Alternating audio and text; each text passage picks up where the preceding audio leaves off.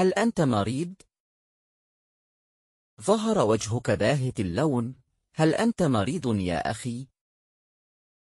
أشعر بشيء من الصداع والدوخة والسعال ربما أنت مصاب بالبرد أظن ذلك ولكن ماذا أعمل؟ عليك أن تقابل الطبيب